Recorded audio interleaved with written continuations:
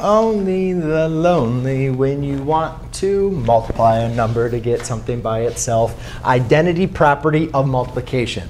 Um, what that states is what can I multiply a number by, or any real number multiplied by a certain number to get back that number. So a times what gives me a.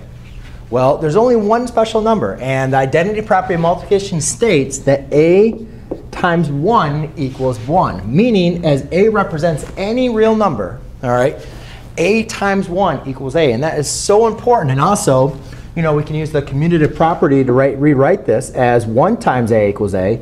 And that's so important for you to understand because now um, what we can have is whenever we multiply, whenever we have something multiplied by 1, we can just write it by itself, which is extremely important when we're going to try to isolate the variable for solving equations. But just for identity property multiplication, there it is.